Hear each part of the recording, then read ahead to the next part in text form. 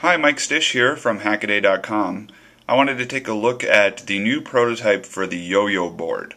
Uh, it's spelled IOIO. It's an add-on for Android devices, um, which gives you a hardware breakout. So you get all of these uh, input-output pins uh, that you can do a lot of different stuff with and easily access from um, Android apps. Uh, it's not a new board, it's actually a new revision of a pretty popular board, um, but it brings a few things that we think you'll be interested in.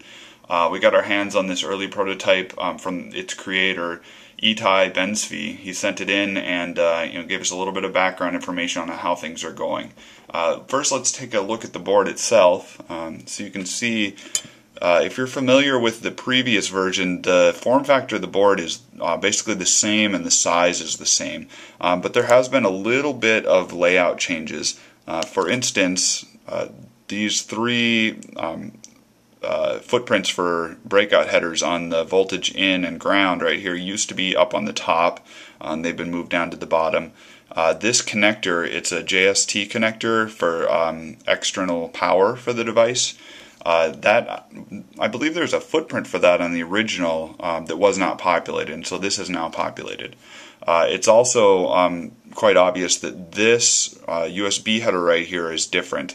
Uh, now the original yo-yo board had a USB-A port, um, you know, kind of your standard uh, large USB um, plug uh, for USB host mode. Now this one has a micro B connector, and uh, it's because this board can be used for either USB host mode or USB on the go. And that's actually what this switch, this toggle switch, is new right here. The switch is made for that, um, and you can see there's uh, an S over here and uh, an H over here. The H is uh, when the switch is on the H side, it forces the board into host mode. When the switch is on the S side, um, it actually is in. That, I guess that S is for select. Uh, but uh, apparently, the production board that S is going to be an A for auto, um, and the board will automatically detect whether it's being called to do USB uh, host mode or, or USB on the go. Um, the chip is a, a, PIC chip, just like before. It's a 24FJ256. Um, this is what kind of handles all of the communications. It does the USB itself uh, and uh, takes care of turning all of your Java code into you know the different hardware functions that you want this board to do. Um, there's a little bit of a change with the um, voltage regulation up here.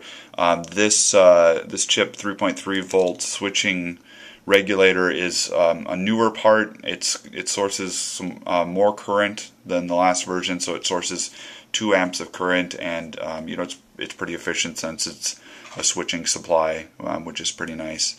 Now. Um, in order to make this uh, board, you know, user friendly, um, apparently the the uh, final version is going to come with an adapter cable like this one that has the uh, um, uh, female A to micro B. Now this uh, we actually ordered this ourselves, um, so it may look different, but it's going to perform the same um, function. And the purpose of it is so that you can plug um, the micro B into the board and then use whatever USB cable came with your Android device. Uh, but it it is um, also possible uh, to use this with a PC and um, you know, we talked a little bit with uh, Ytai, and he said that um, it, it, he's been working on uh, getting this to work with the emulator um, in the Android uh, uh IDE. So that would be a pretty interesting thing to be able to, um, you know, just use a computer in emulation to do all the development before, you know, having to juggle USB ports with the phone and all that sort of thing. So, you know, we're kind of interested in that. Um, one of the things that we like, and they had this on the first board too, but it's worth mentioning again, is uh, that there's labeling. So whenever there's a possibility to label these things, he's he's done it, and we like that. So you can you can look and see, you know, some of the pin functions here um, are labeled on the back. We also like it if you look at this. Um, capital P is for peripheral I/O, and uh, you'll see that there are um, the P labeled pins right there. Um, PI is peripheral in. So, you know, this one, it sounds a little confusing. If the other are IO, what's the deal with peripheral in? Um, I'm not really sure. I think it might be uh, connected to a pin interrupt because there was some mention when I was looking around about being able to measure pulse width modulation and that sort of thing. Um, but these last two are very, very nice. So you have um, any uh, via that's in a box, in a white box on the silk screen, is going to be an analog in, so it's connected to a multiplexer for the ADC, and then any circle is going to be 5 volt tolerant. And um, you know, in order to use this board, you're going to need to you know solder something to it, and you know, for us, it's probably going to be like uh, we've got these female pin headers, or um, you can use a male pin header like this. But if you do that, it's going to cover up um, you know, the circles that are on the board, it's going to do a lot of covering up there. But, uh, you know, good design takes that into account, and we get the silk screen, the boxes, and the circles on both sides. Um, and of course, you know, the, the uh, lettering is still going to be visible if you do solder pin headers onto there. So that's kind of nice.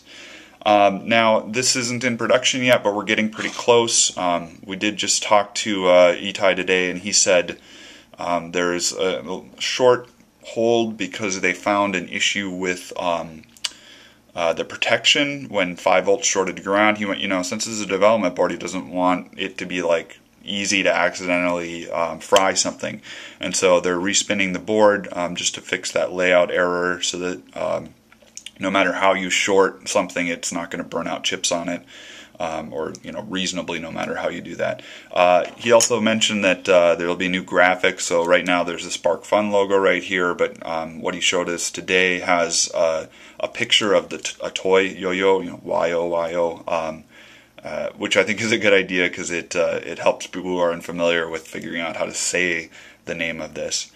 Um, and uh, the solder mask is going to be um, white like it was before right, with a black silk screen. So it'll be um, kind of that, that easily recognizable white breakout board. Now, um, price is always an interesting thing to talk about, and uh, um, he couldn't give us a, a great, uh, you know, he couldn't give us a solid number um, but we talked to him uh, about the $30 price tag that um, had kind of been floated out there when we first heard about this new version of the board. Um, and it sounds like things are looking good to get to that price point, but he just can't say for sure until they get all of the um, production choices worked out. So we're going to keep our fingers crossed. I think the original board is still retailing for about um, $49.99 boy, a $30 price tag really makes this into um, something that's easier to pull the trigger on, even if you don't have, uh, you know, a specific project in mind.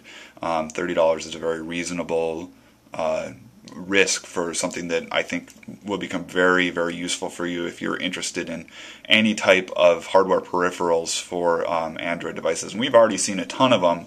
Um, the uh, the original board works with Bluetooth. Um, and I can't think, you know, this would as well. Um, you can just get a Bluetooth dongle and uh, put it into the uh, the little adapter cable, um, and then you don't even need to be uh, uh attached with a cable to the phone. So that's uh, that's pretty interesting. Uh, so that's the new prototype of the Yo-Yo board. I'm Mike Szczys for Hackaday.com.